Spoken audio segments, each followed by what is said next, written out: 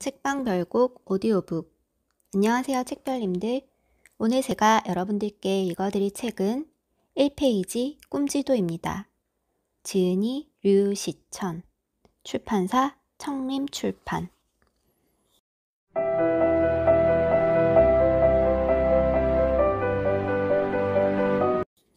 내 삶에 100% 확신을 갖고 싶다면 생애 계획이 눈앞에 펼쳐지도록 꿈 지도를 만들 수 있다면 어떨까? 더 이상 길을 잃지 않고 삶의 목표를 향해 나아갈 수 있을 것이다. 지도가 있으면 길이 명확히 보이기 때문이다. 삶은 부여받은 것이 아니라 스스로 만들어가는 대상이다. 그런데 어떻게 가꿔야 할지 갈피를 잡지 못하는 경우가 많다. 하루하루를 열심히 살면 모든 문제가 해결될까? 그렇지 않다. 목표와 계획도 없이 열심히 사는 것은 아무런 소용이 없다. 그것은 마치 설계도 한 장 없이 주먹구구식으로 집을 짓는 것과 다르지 않다. 무슨 일을 하든지 목표를 정하고 그곳에 효율적으로 도달하기 위한 로드맵을 갖고 있어야 한다. 혹시 지금까지 일상의 여러 일로 마음만 분주할 뿐 아무것도 이루지 못했다 해도 주저앉지 말길 바란다. 우리 삶은 연못 위 수초가 아니라 단단한 토양에 뿌리 내린 나무와 같다. 송두리째 잘리고 밑동만 남아도 꿈이라는 생장점만 남아있다면 언제든 새 희망을 싹 틔울 수 있다. 그래서 다시 꿈만 되찾으면 된다. 꿈은 삶의 모태이자 뒤틀린 내 삶을 바로 세우는 마지막 버팀목이다. 이 책은 그동안 아무도 가르쳐 주지 않았던 꿈지도 만드는 법을 소개한다. 더불어 일상에서 삶의 에너지원으로 그것을 활용하는 방법도 알려준다. 한 장에 담아내는 간단 명료한 꿈지도와 이것을 통해 길을 잃지 않는 삶을 찾아가도록 하는 우리 모두의 생애 계획 이야기다. 제1부 꿈을 찾아야 하는 이유 꿈은 그동안 우리가 잘 몰랐던 강력하고 매우 특별한 힘을 갖고 있다. 바로 삶의 궤적에 대한 미래 기억을 촉진하는 힘이다. 미래를 기억한다는 말이 무슨 의미일까? 어쩌면 지금까지 이 단어를 한 번도 들어본 적 없을지도 모른다. 그렇지만 이 말은 과학적 사실에 근거한다. 미래 기억이란 이전에 계획했던 활동을 적절한 때에 수행해야 한다는 사실을 의식 속에 간직하는 정신 기능이다. 이를테면 시간에 맞춰 고양이 먹이를 줘야 한다거나 주말에 고등학교 동창 모임에 참석해야 한다는 사실을 기억 속에 저장하고 필요할 때 꺼내는 것이다. 일상의 특정 사건뿐 아니라 다른 한편으로 삶의 담대한 여정에서도 미래 기억은 훌륭히 작동한다. 우리가 인생 전반에 대한 미래를 기억한다면 어떤 변화가 생길까? 꿈에는 힘이 있다. 꿈을 갈망하는 정신적 경험이 삶의 미래를 기억하도록 촉진하는 큰 힘이 그것이다. 난 내 삶의 목표를 놓치지 않고 살아갈 거야. 반드시 그 일을 해내고 말 거야. 이처럼 날마다 꿈을 되새기고 열망해보자. 내가 입으로 말한 내용이 기억 속에 털을 잡을 것이다. 이렇게 열망하고 입버릇처럼 주문을 외우다 보면 꿈으로 향하는 생의 궤적이 현실의 흔적처럼 다가오는 순간이 반드시 찾아온다. 생의 궤적을 이해하면 삶 전체를 선명하게 바라볼 수 있다. 삶의 방향을 가늠하는 첫걸음을 어디로 내디뎌야 할지 명확해지고 거침없이 꿈을 향해 달려갈 준비를 마칠 수 있다. 자기 주도적 삶이란 미래의 내 삶이 나로부터 소외되지 않게 하는 것이다.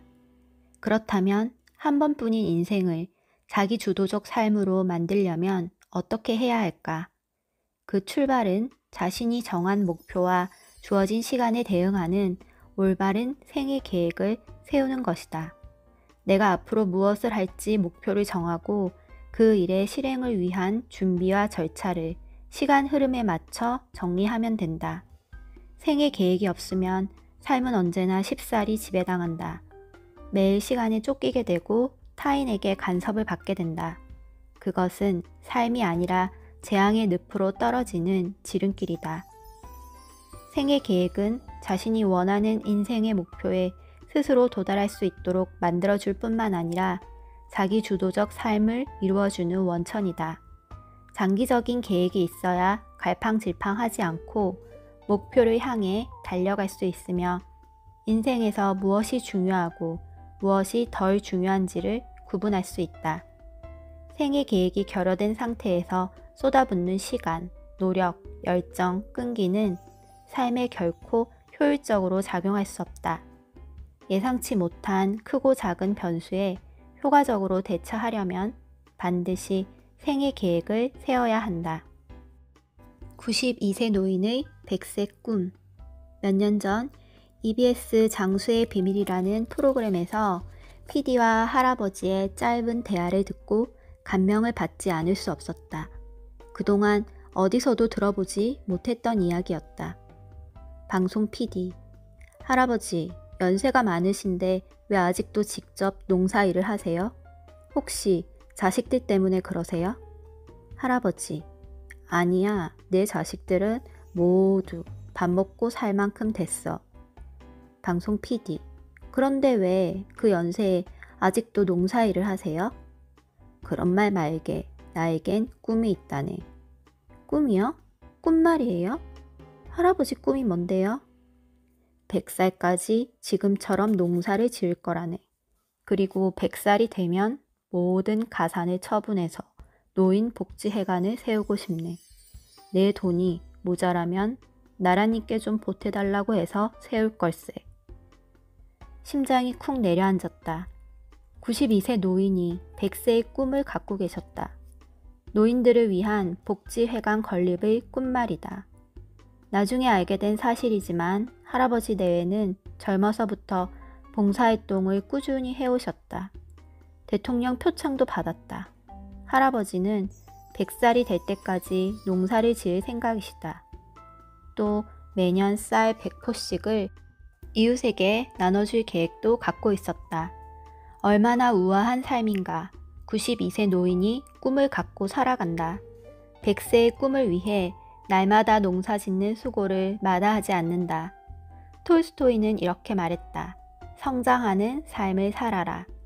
대세일수록 깊이 있는 말이다. 스스로 주체성을 확립하고 나아가 사회 구성원으로서의 존재 가치를 확장하는 일이야말로 삶을 성장시키는 핵심이다. 권 씨 할아버지는 이 말처럼 살고 계셨다. 꿈을 통해 어제보다 오늘, 그리고 오늘보다 내일의 삶이 성장하도록 만들고 있었다.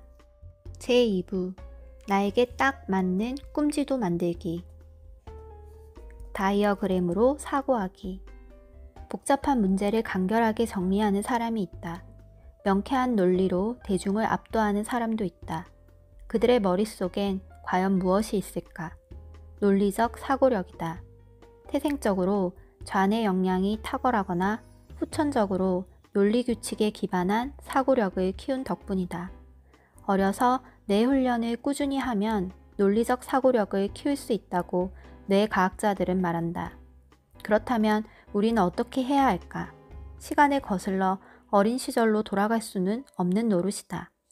다행스럽게도 좋은 방안이 하나 있다.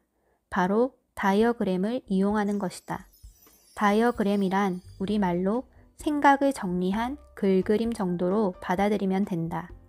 흩어진 생각의 파편을 간단한 문장으로 풀어내고 이것을 선, 화살표, 사각형, 원 등의 도형 요소와 연결해 종합적으로 정리한 그림이다. 다이어그램에는 여러 유형이 있는데 꿈 지도를 효과적으로 표현하는 데에는 PC본 다이어그램이 제격이다. 용어에서 알 수 있듯이 이 다이어그램은 형태적으로 물고기 골격 모양을 닮았다. 물고기의 특징인 머리, 꼬리, 척추, 등뼈 가시, 배가시 이미지를 활용해서 완성하기 때문에 그렇게 부른다. PC본 다이어그램은 관계를 드러내는데 가장 큰 효력을 발휘한다.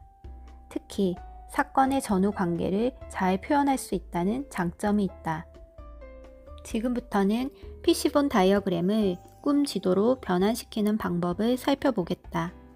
꿈을 향한 출발점인 현 시점은 물고기 꼬리에 해당한다. 최종 꿈이 놓인 시점은 물고기 머리다. 현 시점과 최종 꿈은 꼬리와 머리 사이의 척추로 연결한다. 척추 상단부에 있는 등뼈 가시들은 꿈에 도달하는 중간 과정에 직접적으로 영향을 미치는 주요 목표인 반면 하단부의 배가시들은 삶의 활력을 제공하는 버킷 리스트로 채울 수 있다. 주요 목표와 버킷 리스트는 역할이 서로 다르다. 주요 목표는 내 삶의 주연 배우이고 버킷 리스트는 조연 배우라 생각하면 좋다. 영화에서는 주연 배우의 역할이 제일 중요하지만 그렇다고 조연 배우를 빼놓으면 재밌는 영화를 완성할 수 없을 것이다. 우리 삶에서도 꿈 달성 과정에 큰 영향을 미치는 주요 목표와 일상의 활력을 제공하는 버킷리스트를 페어링하면 완벽한 시너지를 이룰 수 있다. 피시본 다이어그램에서 척추는 머리와 꼬리를 연결하는 역할을 하는데 이는 시간이 흘러가는 경로이다. 즉, 현재 나이에서 출발해 미래 꿈에 다가가는 시간의 흐름선이다. 시간의 흐름선에는 최종 꿈에 도착하기 전에 반드시 거쳐야 하는 주요 목표들을 배치한다. 이 목표는 척추에 연결된 등뼈 가시로 표현할 수 있다. 등뼈 가시에 놓인 원인 1, 원인 2, 원인 3이 주요 목표인 것이다. 높은 곳에 있는 물건을 사다리 없이 한 번에 잡을 수는 없다. 우리의 꿈도 마찬가지다. 반드시 몇 단계의 주요 목표를 세우고 그 목표를 하나씩 밟고 올라가야 최종 꿈을 성취해낼 수 있다. 주요 목표를 표기할 때는 목표 내용과 함께 그 수준이나 목표에 도달하는 수단까지 구체적으로 표현할 수 있다. 배가시에 붙어 있는 버킷 리스트에는 갖고 싶은 것, 여행하고 싶은 곳, 경험하고 싶은 것, 베풀고 싶은 것 등 뭐든 원하는 내용을 적으면 된다. 각각의 내용을 달성 시점에 위치시키면 마무리된다. 브라이언 트레이시는 Get Smart라는 자신의 책에서 글로 표현하지 않은 목표는 단지 소원이나 희망일 뿐이며 목표는 종이에 옮겼을 때 머릿속에서 밖으로 나와 분명하고 만질 수 있는 물체가 된다고 설명한다. 그의 말에 따르면 어떤 목표든 종이에 쓸 때마다 우리는 무의식에 목표를 프로그래밍 하고 있다. 일단 목표를 썼다면 우리의 무의식은 이를 명령으로 받아들인다는 것이다. 꿈이라는 실체적 목표를 명확하게 설정하고 그 다음엔 PC본 다이어그램을 활용해서 꿈에 다가가는 여정을 구체적으로 시각화하기 바란다. 상상만으로는 꿈을 성취해낼 수 없다. 꿈을 실체화하기 위해서는 모호한 접근 방식에서 탈피해야 한다. 막연한 기대만 하거나 마음속에만 꿈을 간직하고 있었다면 과감하게 옛 방식을 버리기를 권한다. 이제부터는 꿈의 최종 모습을 반드시 종이에 PC본 다이어그램으로 구체화하고 평상시에 휴대폰으로 간직하라. 꿈이 사라지지 않고 내면에 끈질기게 남아있도록 하려면 이 방법이 최선이다. 불교 신자는 염주를 가지고 다닌다. 기독교 신도도 십자가 목걸이를 차고 다닌다. 이런 행위는 신앙을 지키기 위한 조건을 갖추기 위함이다. 꿈지도를 그려서 스마트폰에 휴대하자. 일상에서 직면하는 수많은 일들 중에서 어떤 일이 중요하고 무엇을 먼저 실천해야 할지 현명하게 결정하는데 도움을 줄 것이다. 매 순간 삶의 길을 잃지 않고 살아가는데 이보다 더 좋은 방법은 없다.